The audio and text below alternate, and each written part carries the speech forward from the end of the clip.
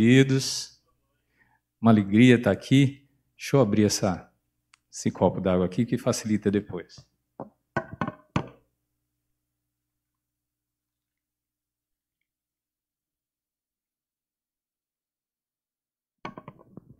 Posso pedir um favor para vocês? Nós estamos num grupo relativamente pequeno. Eu gostaria que vocês viessem mais para frente. Eu sei que tem a questão do, do, distanciamento social, então mantendo mesmo a distância, mas queria que os irmãos que estão lá no fundo, por gentileza, ah, fica mais fácil a gente a comunicação. Por favor. O cara é convidado a primeira vez que vem e já chega pedindo as coisas, né? Queridos, quero dizer da minha alegria e da minha honra de estar aqui falando para vocês. Faz muito tempo que eu tinha a maior curiosidade de vir à mocidade para ver a reunião de vocês e, e enfim, é, me atualizar. Eu estou na igreja já aqui há alguns anos, mas depois que a gente casa, vou confessar para vocês, fica tudo mais complicado. Depois dos filhos, especialmente depois dos filhos, é o que eu quero dizer. É, e a gente não, a gente é de São Paulo, não temos família aqui, então, assim, é eu e a Vivi se virando nos 30, então é, sobra pouco tempo para a gente fazer outras coisas, a família acaba exigindo bastante da gente, particularmente os filhos, que eu tenho dois, mas eu tinha a maior curiosidade de vir aqui e foi uma honra, não imaginava estar aqui falando para vocês, me sinto de fato honrado e a minha oração é que Deus realmente use o Cláudio com as infinitas limitações que ele tem para alcançar o coração de vocês. Tá bom? É, orei muito nesse sentido e conto aqui inteiramente com a graça de Deus. O que vocês vão ouvir aqui não é propriamente de lavra minha, a gente sempre se apoia nos grandes homens e mulheres de Deus que a gente tem na nossa igreja, nos livros. Então, há coisas do Tim Keller, há coisas do Nicodemos, muito do Nicodemos, do Hernandes Dias Lopes, que são grandes professores da, da, da nossa é, tradição presbiteriana. Né? Mas quisera eu que qualquer um deles estivesse aqui né, para abençoar a nossa vida. Mas aprove Deus me trazer, a gente faz isso com alegria e na esperança que o Senhor Deus fale conosco. Tá certo? Uh, Efésios, então, capítulo 5, a partir do, do verso 22. Abra comigo o texto.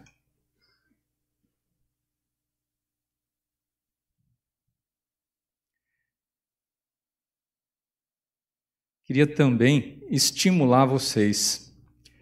Vivam a juventude de vocês intensamente. No Senhor e para o Senhor. Eu, o que eu vou falar aqui vocês não vão entender. Só quando vocês ficarem mais velhos, já estou com 53, fiz 53 ontem. E o presente de aniversário foi vir aqui conversar com vocês. Olha que coisa boa. É, mas vocês não vão entender isso que eu vou falar para muitos de vocês, só quando vocês ficarem mais velhos. Esta fase que vocês estão vivendo é possivelmente a melhor de toda a sua vida, no sentido de não que ser pai seja ruim, é bênção, é ótimo, a vida de casado maravilhosa, certo, Luciana?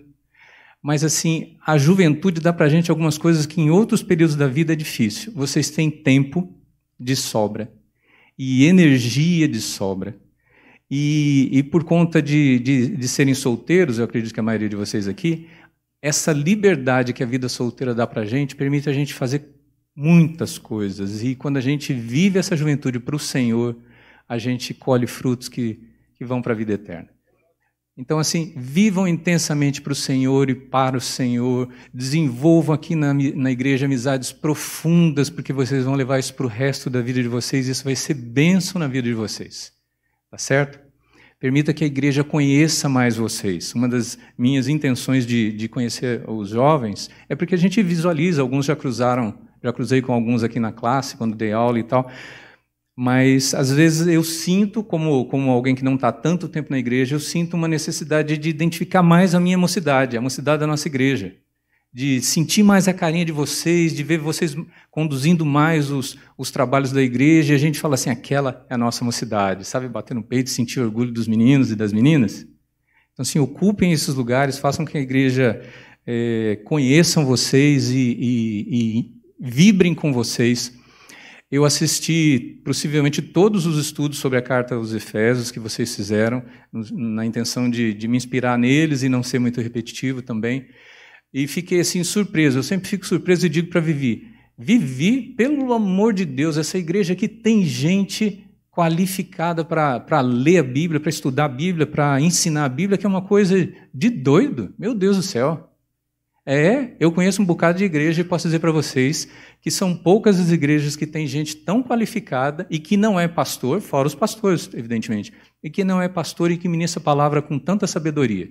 Então, aqui, é, olhem esses homens de Deus, descubram esses homens de Deus e colhem neles, pessoal. Vou aqui jogar bomba e depois eles que se virem, tá? Homens como o, o presbítero Carlos, grudem nesse homem, pelo amor de Deus, e fala assim: cara, não sei o que você vai fazer, mas você vai arrumar uma hora aí na sua semana, eu quero estudar a Bíblia com você, quero que você me ensine a andar contigo, e, e, e quero aprender mais de Deus com a sua vida. Cola no Luciano, cola nesse outro Luciano aqui, que são homens de Deus, eu sei, nos pastores, enfim, é, às vezes é questão de afinidade, às vezes é questão de, de disponibilidade, mas assim, olhem para esses homens sábios que Deus colocou no meio de vocês, líderes, professores, que, que realmente ensinam com sabedoria, que você olha e fala assim: este cara anda com Deus e cola nele, no nome de Jesus, e fala assim: cara, eu quero aprender mais com você, quero abrir a minha vida, quero que você se ministre a minha vida, além desses ensinos que a gente tem aqui durante a, a, a, a semana, a escola dominical, quero mais de Deus. Isso certamente vai fazer tremenda diferença na sua vida. Tá bom? Esses são conselhos que eu queria deixar com vocês. Uh, quem aqui tem menos de 20? Levanta a mão, só para eu conhecer rapidinho. Ah, um ali. De 20 a 30? Levanta a mão. A maioria está nesse. Mais de 30? Ok. E eu, eu, aqui bem mais, né? É, casados, tem alguém? Sim, só. Ok. Pessoal que está lá no fundo, por gentileza, se você não se constranger, estamos em casa, tá bom? Queria que você sentasse um pouquinho mais para frente aqui, mantendo o distanciamento. Uh, isso aqui não é um sermão. Se sinta à vontade para perguntar. Se eu não souber responder, a gente recorre aos, aos universitários aqui presentes, tá bom? Senão a gente corre atrás. Mas assim, sobretudo, eu queria que a gente trocasse é, ideias e pensamentos e, e que realmente a, esse estudo de Efésios fosse assim próximo do nosso coração. Vamos ler então, sem mais delongas? Vamos fazê-lo de maneira responsiva a partir aí do verso 22. Então, Efésios capítulo 5 diz assim: Eu leio os pares, vocês os ímpares. As mulheres sejam submissas ao seu próprio marido como ao Senhor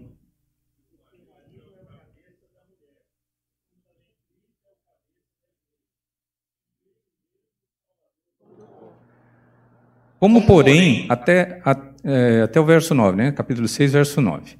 Como, porém, a igreja está sujeita a Cristo, assim também as mulheres sejam em tudo submissas ao seu marido.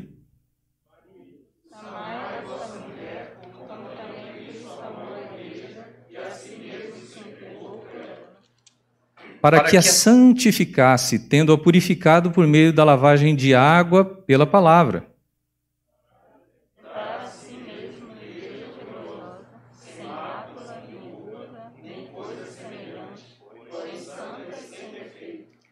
Assim, assim também, também os maridos, maridos devem amar a sua mulher como ao próprio corpo. Quem ama a esposa, a si mesmo se ama.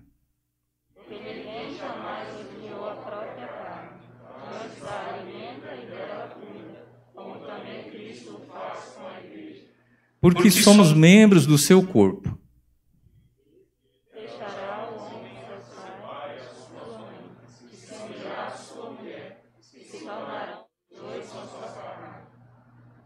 Grande é este mistério, mas eu me refiro a Cristo e à Igreja.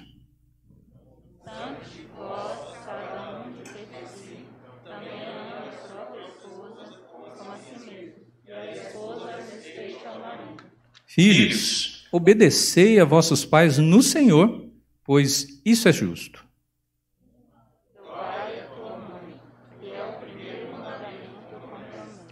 Para que te vá bem e sejas de longa vida sobre a terra.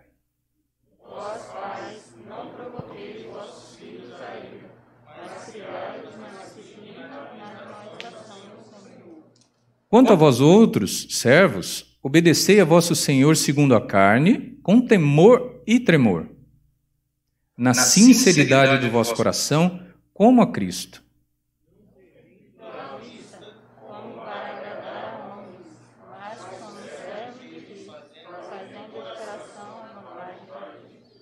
Servindo de boa vontade como ao Senhor e não como a homens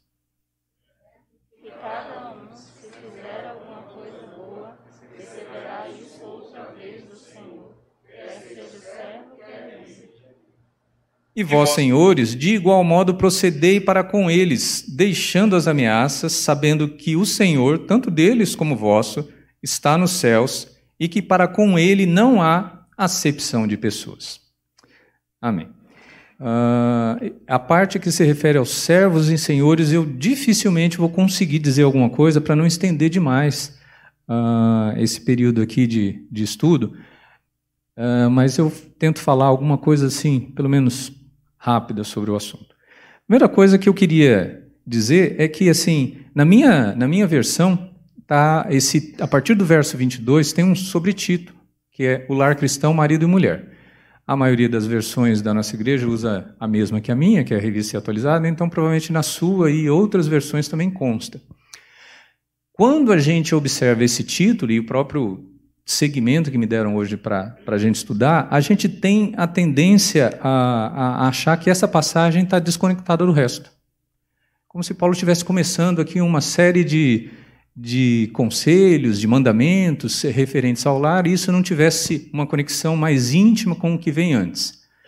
Uh, então, é isso que a gente inicialmente pensa numa leitura mais rápida, e especialmente se você fizer, não fizer uma leitura muito mais atenta, você vai achar exatamente isso, que esse texto está desconectado do texto anterior, da, do discurso que Paulo vem, vem traçando até esse momento.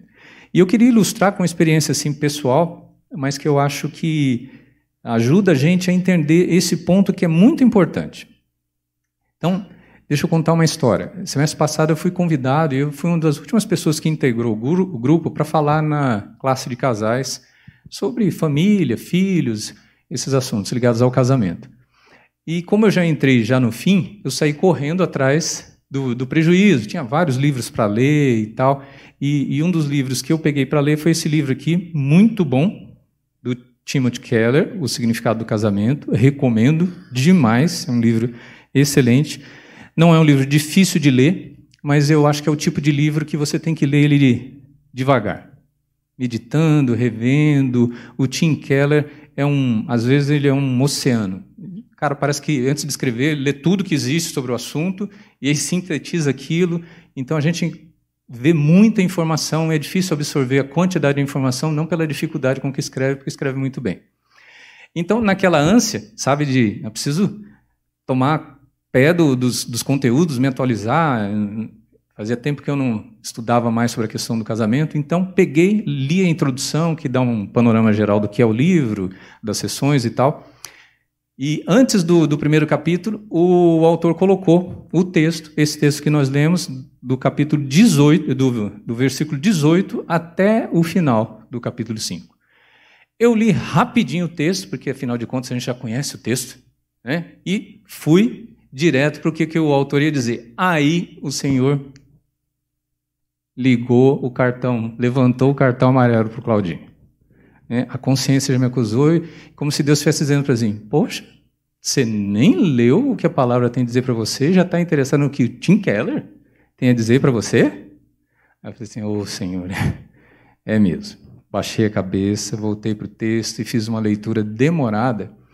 E aí eu percebi uma coisa que eu nunca tinha visto nesse texto que antes de falar sobre a submissão da mulher, sobre o, o, amor do marido, enfim, Paulo diz assim: Não vos embriagueis com vinho, mas enchei-vos do Espírito Santo. Eu falei assim: Ué, enchei-vos do Espírito está aqui junto? É, é uma sessão, um bloco só?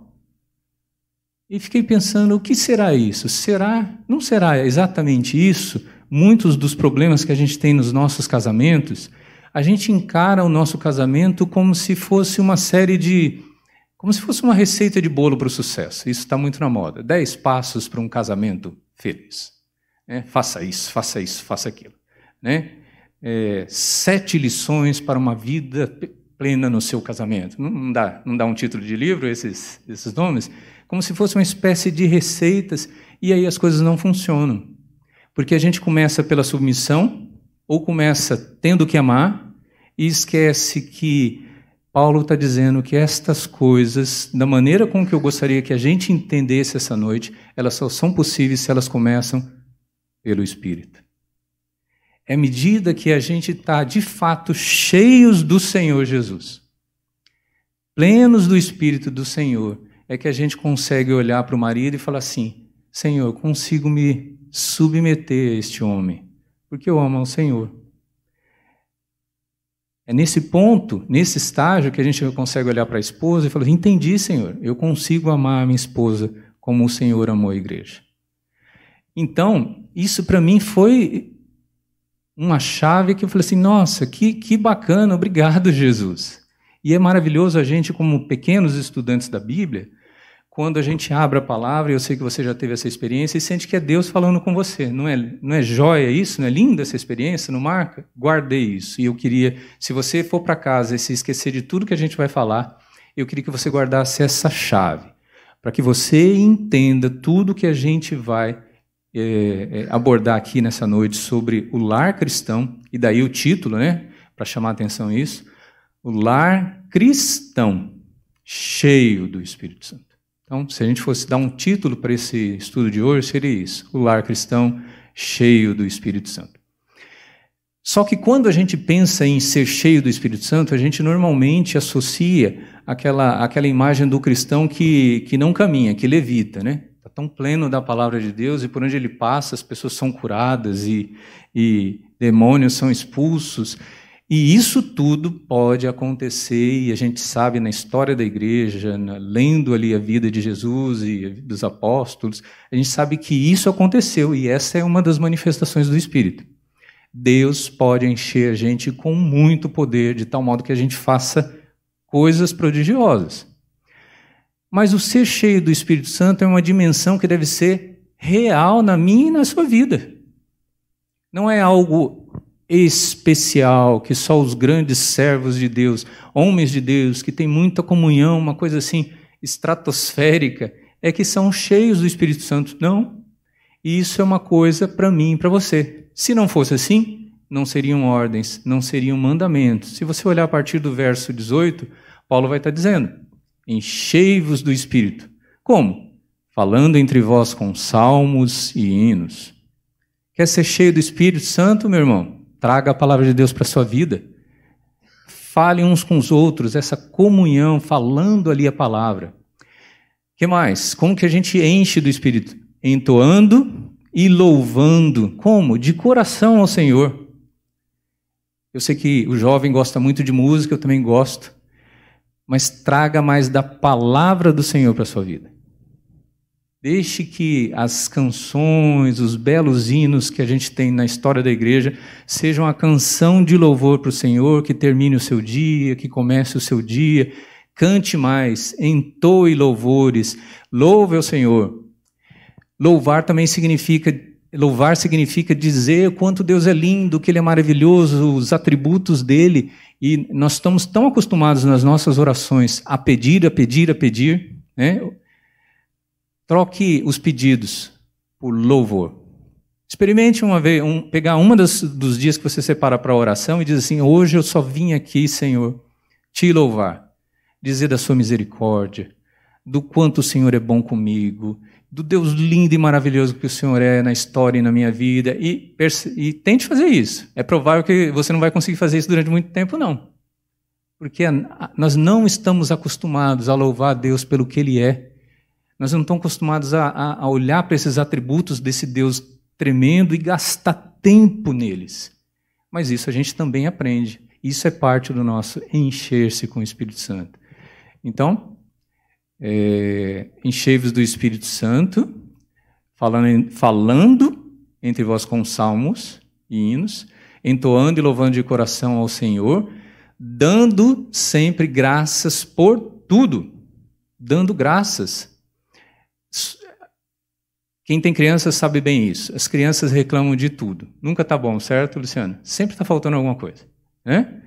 Então a gente, como pais, tem que ensinar as crianças a serem gratas. Mas nós também muitas vezes somos sempre ingratos, somos muito ingratos. A gente sabe perfeitamente o que nos falta, mas tem uma dificuldade muito grande em agradecer pelo que ele, por tudo aquilo que a gente já tem.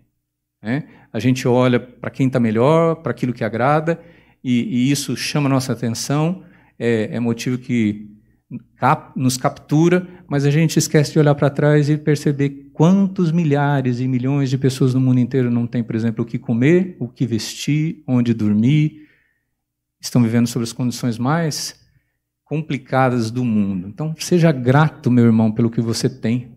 Se é pouco, se é muito. Seja grato ao Senhor por tudo aquilo que Ele já te deu, dando sempre graças por tudo e sujeitando-se uns aos outros. Então, a sujeição também é uma dimensão que ensina a gente a aprender a, a ensina a gente a se encher de Deus. Então é por isso que essas coisas são um mandamento e é por isso que isso é para mim para você. Então, encher-se do Senhor é a chave para que a gente olhe para essa passagem com, nessa dimensão e, e com, com essa lente. Ok? Então, a partir do verso 22, o verso 22 se liga diretamente ao verso 21, que está escrito o quê? Leia aí na sua Bíblia. Verso 21. Todos juntos, por favor. Isso. Então, se liga ao sujeitando-se. Quando começa no verso 22? As mulheres sejam o quê? Aquela palavra que todas vocês adoram, né? As mulheres sejam submissas. No grego não tem o submissas, sabia? Essa passagem, essa frase se liga ao anterior. No grego está mais ou menos assim: sujeitando uns, uns aos outros. As mulheres ao próprio marido. Ué, as mulheres o quê? a interpretação aí do, do verbo decorre do, do verso anterior, dizem os, os, os estudiosos, os teólogos. Então está correto, para ficar mais claro na nossa língua, os tradutores colocaram o verbo: as mulheres sejam submissas. Porque está se ligando ao restante, e isso é mais uma prova de que isso forma todo um contexto que a gente não pode separá-lo, porque senão a gente perde a, a, a chave de compreensão e de, de riqueza de, do significado do texto, certo? então é isso. Ele tá, Paulo, a partir do verso 2, está detalhando um pouco mais a questão da sujeição uns aos outros. Se é uns aos outros, apesar de ele estar tá dizendo para as mulheres serem submissas, adivinha quem também tem que se sujeitar uns aos outros? O marido. Tem muita gente que lê essa passagem e pensa que a sujeição, que a submissão é só uma coisa que as mulheres têm que fazer. Nada disso. Existe um nível de sujeição que também se aplica ao homem, senão não faria sentido Paulo dizer, sujeitando-se uns aos outros, homens e mulheres, ok? Mas existem esferas dessa sujeição e é isso que eu gostaria de, de detalhar a seguir. Então, como que a mulher cumpre a, a, o sujeitar-se, sendo submissa ao marido? Como que o marido cumpre o sujeitar-se uns aos outros? Amando a sua esposa. Como que os filhos cumprem a, a, a sujeição? Obedecendo os pais. E assim sucessivamente. Essas coisas estão todas relacionadas. Sabe o que a primeira lição que, que a gente depreende de tudo isso daí é a seguinte: a vida no lar está intimamente ligada a sua vida espiritual. Nós temos uma tendência a separar muito as coisas na vida cristã. Então, às vezes, as pessoas dizem assim, cara, meu relacionamento com, com meu pai é péssimo. Ainda bem que a minha vida com Deus está legal. Hã? Não. Se, a sua, se o seu relacionamento com o seu pai está péssimo e e normalmente a gente está envolvido nesse estar péssimo, né? a menos que, assim, num caso de extrema exceção, você entende que fez tudo o que você podia fazer, mas mesmo assim o relacionamento com seu pai não é bom. Mas, via de regra, quando a gente ouve isso, quer dizer que existem problemas dos dois lados. Vocês não conseguem se falar, a, a conversa perde o controle, a gente começa a se agredir, e é por isso que o relacionamento não está bom. Para gente que entendeu a dimensão da vida cristã que alcança todas as esferas da nossa vida, a minha vida espiritual não está boa se o meu relacionamento com os meus pais não está bom. A minha vida espiritual não está legal se o relacionamento com a minha esposa não anda bem. Então, tudo isso afeta diretamente a, o nosso relacionamento como família, o nosso relacionamento espiritual. Então, tem implicações diretas. Como? Essa questão aí de duas maneiras. O encher-se do Espírito afeta a nossa vida de duas formas. É um resultado e é uma condição. O que, que eu quero dizer? A mulher, qual é o resultado de, de ser cheio do Espírito? A mulher vai ser submissa. Qual o resultado de ser cheio do Espírito para o marido? O marido vai amar sua mulher. Qual o resultado de ser cheio do Espírito Santo para o filho? Ele vai obedeceu seu pai. Muito bem, Luciano. Estou só ouvindo ele falar aqui, ó. É isso aí. Qual a condição? Isso é resultado. Então, e é fácil entender isso. Se você já experimentou momentos onde você realmente estava bem com Deus, a vida cristã é muito mais fácil. A gente lida melhor com os problemas, as dificuldades que a gente tem não desapareceu, mas a gente parece ter muito mais energia para enfrentar e para viver a vida, não é assim? Porque encher-se tem como resultado todas essas vitórias na nossa vida diária. Mas o encher-se também é, é, é, a condição, que é o que eu acabei de falar. Se eu não consigo ser submisso ao meu marido, adivinha o que está faltando? Ser cheio do Espírito Santo. Se eu não estou conseguindo amar a minha esposa como Cristo pede de mim, é sinal que está faltando buscar Deus e buscar ser cheio do Espírito Santo.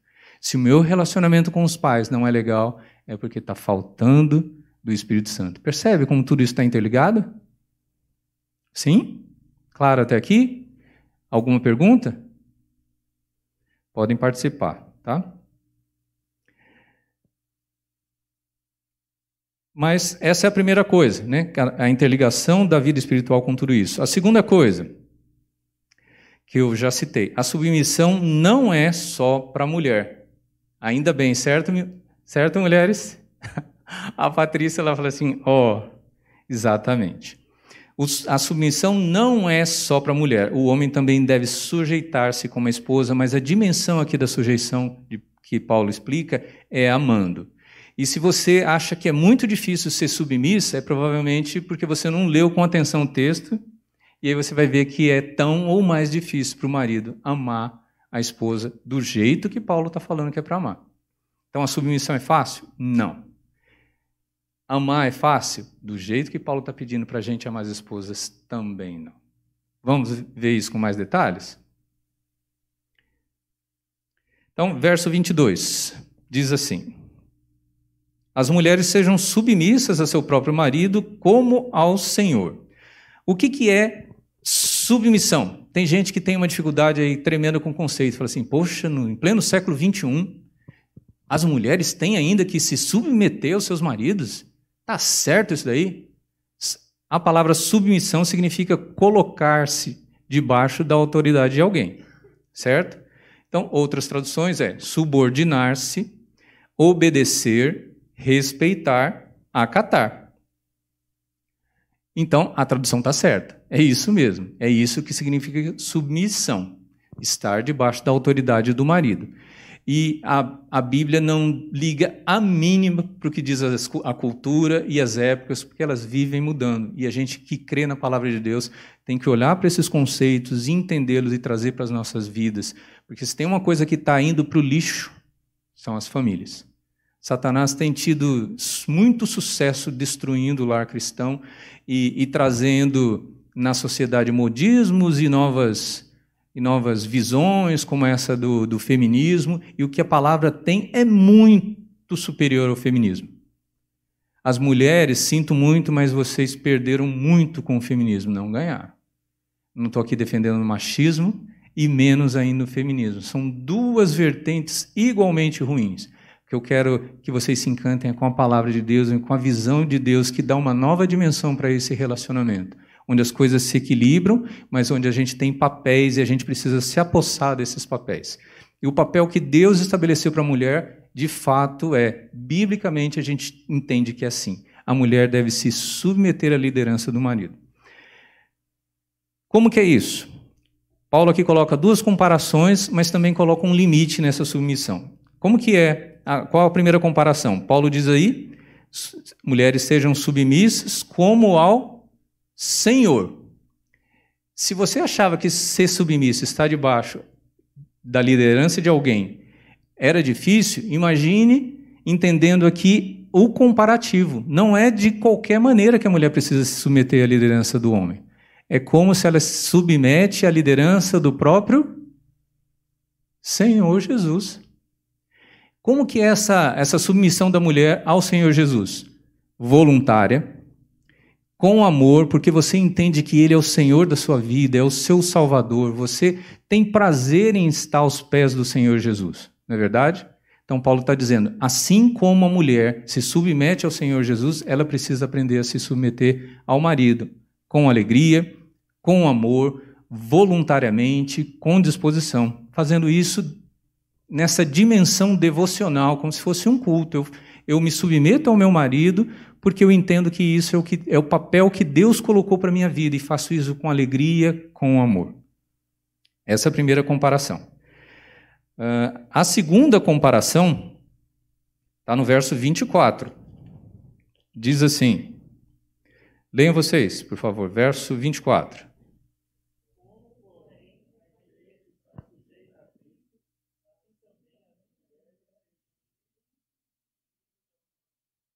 Isso. O comparativo aqui é a mulher se submete ao, ao marido do mesmo jeito que a igreja se submete a Cristo. E como que a igreja se submete a Cristo? Como que nós fazemos como igreja para a gente se submeter ao Senhor Jesus Cristo? A gente lê a palavra e procura entender o que o Senhor tem a dizer para nós, o que o Senhor quer de nós, qual é a vontade do nosso Deus. À medida que a gente entende isso, a gente alinha a nossa vida de acordo com essa palavra corrige os nossos caminhos para que a gente agrade cada vez mais ao Senhor.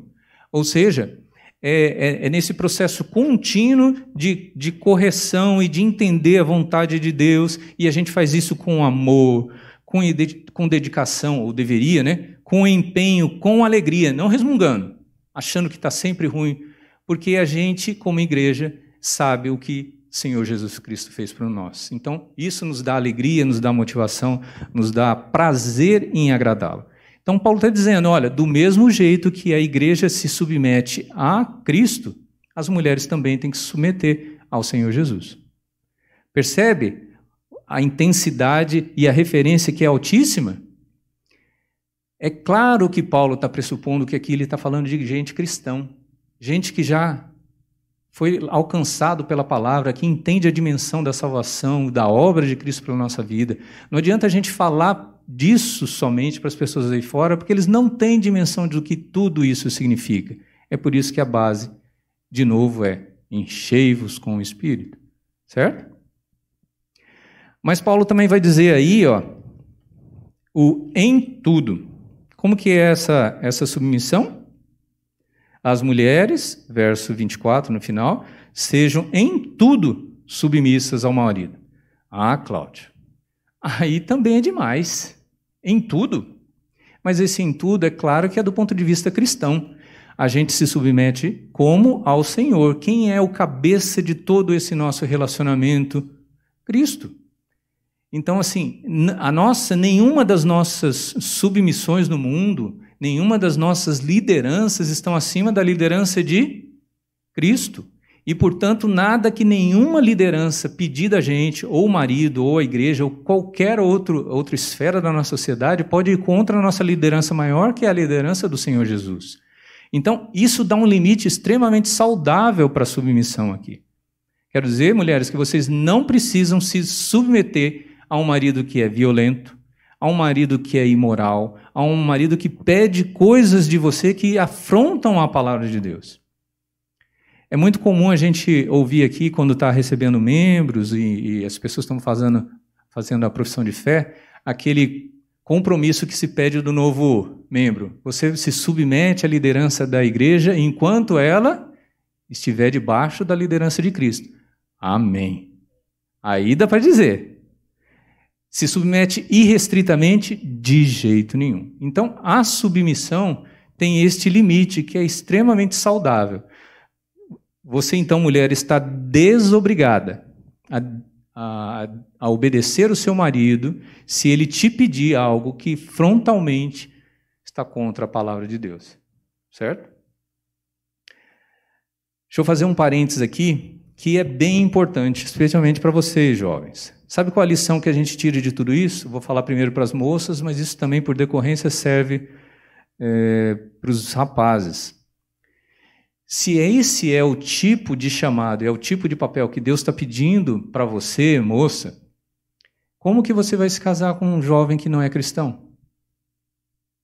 Que não entende nada do que a gente está falando, que não experimentou da obra e do significado de, da, da obra de Cristo na sua vida e da importância disso. Como que você vai se submeter à liderança de um homem que não é cristão. Até mais do que isso. Quando você for escolher um namorado, ainda que ele seja cristão, olhe para ele e, e, veja estas coisas antes de você casar. Do tipo assim, aquele ali dá para me submeter. Eu entendo pelo jeito com que ele trata as pessoas, o jeito com que ele trata a mãe. Eu acho que não vai ser difícil. É claro que no namoro a gente começa a conhecer, mas depois que a gente casa que a gente realmente conhece mais a fundo. Mas muitos casamentos desastrosos teriam sido poupados se o jovem, a moça e o moço se atentassem para esses princípios, dessem realmente valor ao que a palavra quer dizer quando diz isso. A gente sabe, isso está na Bíblia, né? Para a gente não se sujeitar ao julgo desigual e às vezes as pessoas dizem assim: não, mas isso é depois do casamento, no namoro pode. Ué, mas o namoro não é um, um processo para você chegar ao casamento? Você não está escolhendo uma moça que você viu virtudes, que você, é, enfim, atraiu os, os, seus olhos, gostou da personalidade, da beleza, e você está ali procurando conhecer mais para que depois você case? Aí você vai se relacionar com uma moça ou com um rapaz que não é cristão. Ah, não, mas eu estou evangelizando ele e, e, se ele não converter, a gente não casa. Queridos, não dá certo. Isto é uma tremenda barca furada e, na, e é só conversa fiada. Posso ser franco com vocês? Quem está dizendo isso está querendo se enganar e não sei se está conseguindo, mas isso é só se enganar. Então, assim, seja amigo, leve a palavra, mas não namore alguém que não seja cristão, porque às vezes você vai estar tá brincando com o seu coração e depois desfazer, depois que a gente começa a gostar, depois que passa um tempo de relacionamento, é muito difícil. Estou começando com as mulheres, mas isso é, a mesmo, é o mesmo princípio. A gente vai ver que, já falamos isso, né? Que o marido ama a esposa, como você vai amar e conduzir, liderar um lar onde a sua esposa não é submissa e não entende que esse é um valor importante no lar? Daí vão surgir infinitas brigas. Tá certo? Eu sei que o nosso tema aqui não é namoro propriamente, mas eu não poderia deixar de fazer esse, esse comentário. Qual a razão da submissão? E aí Paulo explica uma coisa que nos dias de hoje causa é, é, descontentamento na maioria da, da sociedade, porque vê diferente, mas isso é o que está na palavra porque o, o homem é o cabeça da mulher. Né? Assim como Cristo é o cabeça da igreja. Está no texto aí. Só que essa questão do homem ser o cabeça da mulher, isso são papéis. Nenhum líder, porque está na, na posição de líder, significa que ele é mais importante, que ele é melhor que você, que ele é superior. Não tem nada a ver o papel que você desempenha com superioridade, com, com ser melhor, com nada disso. Então, o fato da mulher se colocar ah, embaixo da liderança, da direção, da, da autoridade do marido, de maneira nenhuma significa que a mulher é inferior ou que é menor. Não é verdade? A gente, se você pensar, há muita gente que ocupa função de liderança no seu trabalho, na sua escola, e você fala assim: oh meu Deus, tanta gente mais capaz, não é verdade? Mas ela está desempenhando essa função. Isso não significa que ela é melhor, nem é pior, mas que ocupa a função e que tem aquela autoridade. Então, não se sinta menor, mulher, não se sinta menor porque você está nesse papel.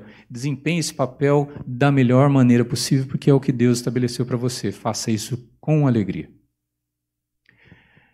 Ok? Uh... Vamos lá. Acelerar, eu tenho até às 19, é isso? Mateus? Tá bom. Vamos passar para o marido, então? Verso 25, leia por favor.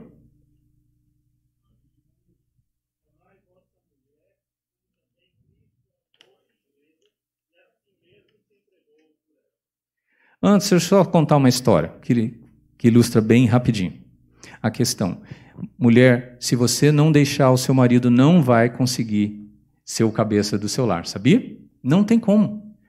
É, se Deus não dissesse que o marido era o cabeça, alguém tinha, ser, tinha que ser o cabeça. São duas pessoas. Pensa assim, o lar começa com duas pessoas. Como que a gente toma as decisões?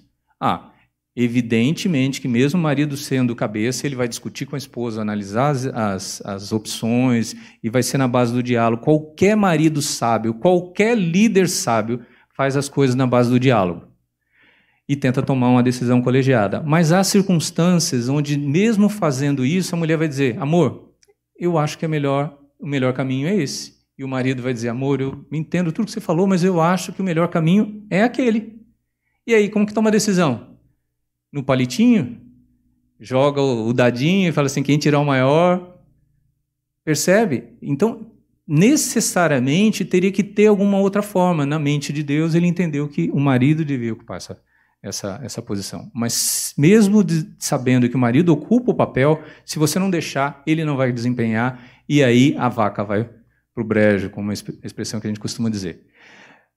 O Nicodemos conta uma, uma ilustração bem interessante. Um pastor famoso chamado Martin Lloyd Jones, do século passado, um pregador influente, escritor de muitos livros, logo no começo do pastorado, nos inícios, nos in, anos iniciais do seu pastorado, ele foi visitar um casal e ficou impressionado quando chegou na casa deles.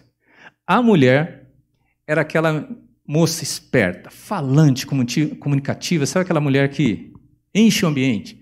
O pastor ficou impressionado com a com a inteligência dela, com a, a, o jeito articulado dela, e ela conduzia toda a conversa, falando, falando, falando assim: Não é, meu amor, não é isso? Ele, é. Não é, meu amor. Ele, é. Ela fazia as coisas de um jeito que parecia que a palavra final era do marido. E o Martin Lloyd Jones diz que o marido era exato oposto. O cara só faltava morrer. Era parado, não, não tinha condução ali no, no, na conversa, morto. Né? E ele ficou assim impressionado com, com aquele casal. Aí no finalzinho, quando eles já estavam indo embora, ele chamou a esposa de lado assim, conseguiu um, um, um lugar ali mais particular e falou assim: Irmão, posso fazer uma pergunta? Pode, pastor. Casamento de vocês, vi que fiquei surpreso, achei que o casamento de vocês é bom, mas vai tudo bem no casamento de vocês? Sim, sim, pastor, tudo bem, graças a Deus. Posso fazer outra pergunta? A irmã não se incomoda, não? Pode, pode falar, pastor. Quem é que manda aqui na sua casa? Ah, pastor, o meu marido. E quem decidiu isso? Eu, pastor. É evidente. Se você, esposa, futura esposa, não permitir que o seu marido conduza e seja o líder, a coisa não vai funcionar bem. E se ele for alguém de personalidade mais forte, aí começam as brigas, certo? Só para a gente ilustrar esse ponto. Mas falando sobre o marido, indo muito mais rápido. Porque eu penso que vocês já entenderam e esses princípios vão governar tudo o que vem a seguir. Então, o marido, como, como que o marido se sujeita à sua mulher? Amando a sua esposa. É o que vai dizer no verso 25. Maridos, amai vossa mulher, como também Cristo amou a igreja. De novo, vejam as comparações. Não é um amor qualquer que Paulo está ordenando aqui. Ele tá, a referência é altíssima. E ele gastou três versículos para falar sobre o papel da mulher e vai gastar seis, se eu não errei as contas, para falar do papel do homem. Então, ou seja, são coisas complicadas. Então ele vai dizer: marido, amai a vossa esposa. Mas, de qualquer maneira, amor em si já é bastante elevado. Sabe qual é a referência? Como Cristo amou a sua igreja. Como que é o amor de Cristo? Incondicional, sacrificial. Ele, ele deu da sua própria vida por essa igreja. E essa igreja merecia isso? Não. Era uma esposa linda e maravilhosa. No futuro, depois de toda a obra, ele certamente vai apresentar essa igreja gloriosa, sem mácula, nem ruga, nem coisa semelhante. Mas era uma igreja que estava perdida, afastada, que tinha se sujado, abandonado, negado o seu Senhor. Percebe a dimensão radical desse amor? E Paulo está dizendo: maridos, vocês têm que amar as suas mulheres como Cristo amou a igreja. Percebe como o padrão é elevado? Só é possível com a graça do Senhor, senão a gente não dá conta. Não é mesmo, Luciana? Não dão conta. Mas ele usa uma outra figura também, não somente como Cristo amou a igreja, uh, mas diz assim, verso 28, assim também os maridos devem amar a mulher como a gente ama o próprio corpo. E aqui a referência ao próprio corpo é aquela lá de, de Gênesis. Por isso deixa o homem, pai e mãe, e se une à sua mulher, e os dois são um só corpo. Quando a gente casa, há esta união, deixam de ser dois e a gente se transforma um, em um só. Quando eu amo a minha esposa, na verdade, por extensão, eu estou amando a mim mesmo. Quando eu me dedico, me esforço e faço bem à minha esposa, a quem que eu estou fazendo bem? A mim mesmo, porque eu e ela agora somos uma só carne. Então, essas duas comparações norteiam e devem nortear a minha e, e a sua vida dentro do casamento. Então, quando você se casar, pense que a medida, a referência é essa do Senhor Jesus. Amar como Cristo amou e amar como você ama o seu próprio corpo, porque a gente não é mais dois, mas uma só carne. E aí, é claro que é uma referência espiritual, mas veja o, o que Cristo, qual a intenção, os objetivos de Cristo quando ele ama a igreja. Diz lá, verso 26. Cristo amou a igreja e se entregou por ela, verso 26, para que a santificasse, tendo lavado eh, tendo-a purificado por meio da lavagem de água pela palavra, para apresentá-la a si mesma igreja gloriosa, sem mácula, nem ruga, nem coisa semelhante, mas, mas santa e sem defeito. Levanta a mão aqui, mulheres, se vocês querem um marido que ame vocês, ao ponto de vocês ficarem sem mácula nem ruga. Opa, oh, aleluia, Senhor, eu recebo. Quero um, quero um maridão desse também sem mácula, nem ruga, nem coisa semelhante, santa e sem defeito. É claro que quem faz isso na, na sua plenitude é o Senhor. Uh, mas um marido sábio que de fato ama a sua esposa, produz ou cria situações onde ela tem oportunidades para a sua santificação, onde a, a gente cria um ambiente de crescimento espiritual para a esposa, e isso se reflete positivamente em tudo. Claro que a gente ganha as rugas porque a idade vem, todos estamos sujeitos ao envelhecimento, mas certamente um marido duro, que não entende a palavra, obstinado, vai te causar muito mais cabelo branco e muito mais ruga. Não é verdade? Então, procure mais um motivo para que você, marido, e você, esposa, busque gente do Senhor, que realmente desfruta de um relacionamento vivo e verdadeiro com o Senhor. A gente tem muito mais chance de construir um lar harmonioso e, e segundo os valores do reino. Observe também que Paulo diz assim: amai. E amai é uma forma do verbo que está em que? No imperativo. É, portanto, uma ordem. Amor, amai. Ué, mas amor não é um sentimento? Amor é um sentimento? Amor é muito mais do que um sentimento. É claro que o amor afeta as nossas emoções. Se ele fosse somente um sentimento, não era possível, não era prático que o Paulo recomendasse que a gente amasse. Porque os sentimentos têm essa instabilidade, essas coisas que às vezes a gente não consegue explicar bem, né? Às vezes a gente gosta de alguma coisa e a gente nem sabe por quê. E tem hora que a gente não vai muito com a cara de determinada coisa e a gente também não sabe bem por quê. Os nossos sentimentos são instáveis. Tem dia que a gente gosta mais, tem dia que a gente amanhece meio aborrecido e está meio desanimado, e o gosto daquilo muda.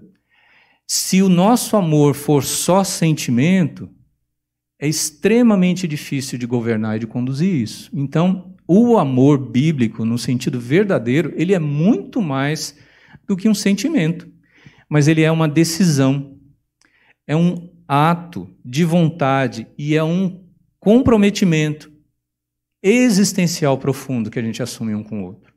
Então, quando a gente leva ao altar aquela moça linda e maravilhosa e desposa ela, e a gente diz um para o outro que a gente promete amá-lo na saúde, na alegria, na doença, esse é o tipo de. é um ato de vontade, é uma decisão que a gente está tomando. É claro que isso afeta as nossas emoções, porque o amor afeta. Quem é que não sentiu frio na barriga quando conheceu a primeira vez, hein, Luciana? É? é a mão gela, né? Sente aquela tensão, aquelas coisas gostosas do namoro. É claro que isso afeta as nossas emoções. Mas amor é muito mais que isso. É um compromisso, é um ato de vontade. E é um ato e é um compromisso que permanece mesmo quando o seu casamento não vai bem. E talvez, se você olhar para o seu sentimento, você vai dizer: puxa, eu já não estou sentindo, sentindo o mesmo amor de quando a gente casou. Irmão, pede graça do Senhor e mantenha o compromisso, porque o compromisso é de amar. Se você olhar para o seu compromisso, esse sentimento que oscila, daqui a pouco passa e você volta a sentir a mesma coisa, ou até muito mais.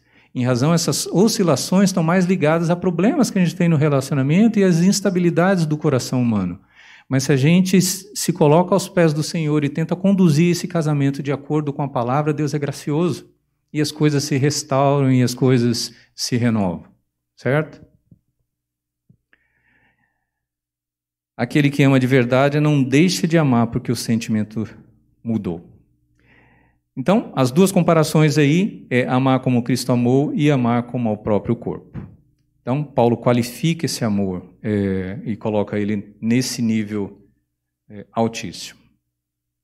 Para a gente finalizar e não estender muito mais, eu queria falar um pouco sobre a questão dos filhos a partir do verso 6. Diz lá, 6:1 Filhos, obedecei a vossos pais no Senhor, pois isso é justo. Primeira coisa que a gente nota aqui é que a questão da obediência, de novo, está ligada à nossa vida espiritual e, Paulo diz que a obediência é justa. Quando a gente pensa na questão até do, do reino animal e, e na questão dos, dos, bebês, uma criança quando nasce, é, os filhotes em geral são indefesos, os bebês mais ainda. Uma criança, nem no berço direito ele fica se você não tomar certos cuidados. Pode até morrer dormindo ali, se você não, não apoia, não, não, não, não cuida direito, porque nem se mexer direito ele se mexe. Se alguma coisa cai no rosto, pode sufocar se de repente acontecer dele virar e, e ficar de bruxo, ele não, não volta. Então, a vida de um bebê, a vida humana, é uma das mais frágeis e dependentes do pai. Então, é absolutamente natural que os pais cuidem desse bebê e ensinem os primeiros passos para que ele cresça e se desenvolva com, uh, com saúde e, e com segurança.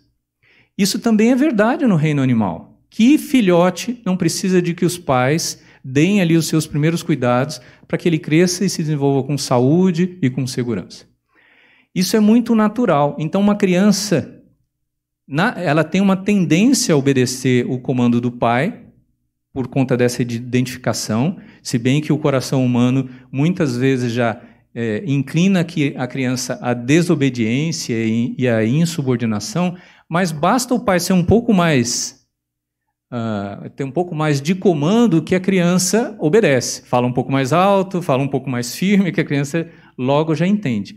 Mas à medida que a gente cresce, a gente vai querendo mais independência, buscando mais independência, e é uma tendência natural do coração humano já começar a desconfiar da autoridade e do direito que o pai tem em, em decidir as coisas. Então começam a surgir as questões, as atitudes de desobediência dentro do lar. Mas Paulo está dizendo: olha, a nossa obediência aos pais ela é justa. A nossa vida só é possível por causa dos nossos pais. E a nossa vida só se consumou até hoje porque os nossos pais nos conduziram com sabedoria, com, com cuidado, para que a gente chegasse onde estamos hoje. Então, a obediência é, primeiro, justa, natural. É, é parte da própria vida que os filhos obedeçam aos seus pais. Mas Paulo vai mais longe e relembra que isso também é um mandamento. Isso já aparece lá nos Dez Mandamentos, aparece em Êxodo 20 e aparece depois em Deuteronômio capítulo 5, que é a referência que Paulo fala. Citando o mandamento da obediência, Paulo diz o seguinte: Filhos, é, é, honra o seu pai, honra o seu pai para que você para que, para que te vá bem, a versão de Deuteronômio diz isso. Honra o seu pai para que te vá bem e que você tenha vida longa sobre a terra. Então, honra o teu pai e tua mãe, que é o primeiro mandamento com promessa. Qual que é a promessa do mandamento? Ele está dizendo aí, para que te vá bem e sejas de longa vida. Tem duas promessas ligadas, então, à questão da honra uma vida de qualidade, ou uma vida boa, e uma vida com longevidade, uma vida longa. Então, queridos, todos aqui somos filhos. Paulo está dizendo: nós precisamos aprender a obedecer os nossos pais, a honrar os nossos pais. Primeiro, porque é justo. Segundo, porque é um mandamento. E acho que talvez o sonho de, da maioria dos jovens é alcançar essa liberdade, essa autonomia de, de poder fazer mais coisas sem depender tanto de obedecer aos nossos pais. Mas mesmo eu que sou casado, que tenho uma família e que, portanto, te, gozo de uma independência muito maior para conduzir o meu lar, né? meus pais já não, não, não têm um, um, controle, um domínio sobre as decisões que tenho na minha família, porque constituí outra família, ainda assim eu sou chamado a continuar honrando eles. Não é porque eu construí uma nova família que virei as costas para os meus pais. Então, e, e a promessa bíblica aí é importante. Realmente há pouco sucesso prático se você constrói um lar ou constrói a sua vida onde você esquece do seu pai. E para gente que é cristão, é muito feio isso. Gente que é crente, que está na igreja, mas que abandona os pais. Nossa, como isso é triste, queridos. Tem aquele, até aquele ditado que diz assim: uma mãe cria dez filhos, dez filhos não cuidam de uma mãe. Há muita verdade nisso. É? As mães ou os pais às vezes se desdobram para educar com toda dificuldade, dão educação para os filhos, eles crescem, arrumam seus empregos, crescem e ó, nem olham para trás e quando teriam condições de se interessar e ajudar um pouco mais esses pais que fizeram tanto por eles, eles viram as costas. Então a Bíblia nos ensina: honre o seu pai. Dê valor ao seu pai, meu irmão. Eu não sei a vida de, de vocês, talvez alguns aqui experimentem é, realidades complicadas com seu pai, ou porque ele é alcoólatra, ou porque o temperamento dele é agressivo, é, talvez ele não seja crente. Eu sei que existem realidades bem complicadas na família de muitos de vocês. O que Paulo está pedindo aqui de novo exige que a gente realmente se encha do Espírito. Mas não desista do seu pai. Procure honrar o seu pai, a sua mãe, dê valor, gaste tempo com eles. Ah, há muitas pessoas que só vão entender isso depois que perdem os pais, e aí já não, é tarde demais para fazer qualquer coisa. Né? Se você já vive sozinho e, e cuida da sua própria vida, mantenha contato com seu pai. Faz aquela ligação uma vez por semana, a cada duas semanas, para o seu pai, para sua mãe, mantenha contato com ele, não se distancie deles, diga o quanto você é importante. Uma das coisas boas que, que eu tenho aprendido a fazer agora que estou mais longe é ligar para os meus pais e reconhecer o que eles fizeram por mim. Como é gostoso dizer, ô oh, pai, agradeço pela sua vida, pela bênção, pela influência que o senhor foi, porque o senhor foi um pai que cuidou de mim, é, nunca fui agredido, é, percebo o, o, as coisas difíceis que vocês tiveram que passar para que eu chegasse aqui onde cheguei. Entende isso? De você olhar para sua mãe e reconhecer, porque a gente É fácil reclamar e questionar a educação do meu pai ou da minha mãe, porque errou nisso, naquilo. Valorize o seu pai. É, ore por ele e tente mudar o seu relacionamento para que ele, para que você alcance o coração do seu pai. Então, a promessa é isso. Existe bênção para quem se dispõe a fazer isso. E a bênção é dupla: vida de qualidade e vida longa. Mas, finalmente, há um conselho aqui para os pais também. Diz para os pais não provocar os filhos a ira mas criá-los na disciplina e a demonstração do Senhor. E eu vou finalizando aqui rapidamente, dizendo o seguinte: os pais aborrecem os seus filhos à medida que exercem sobre eles um controle muito rígido. O pai precisa aprender a equilibrar isso. Os filhos precisam crescer, mas às vezes a gente, como pai, com medo de que eles cresçam rápido demais, ou com medo do, do mundo que é muito complicado, a gente cerca essas crianças com excessos de cuidado. Isso é uma coisa que provoca a ira dos filhos, porque eles querem liberdade. Saiba entender também os limites do seu pai. Mas quando você for pai, saiba também respeitar essa liberdade que os filhos precisam para que eles possam crescer. O pai é, causa ira no coração do filho também quando ele faz distinção entre os filhos. Lembram de Esaú e Jacó? Os pais, o, Esaú amava, uh, Isaac amava Esaú, Rebeca amava o Jacó. E isso foi terrível no relacionamento deles. Lembram de José?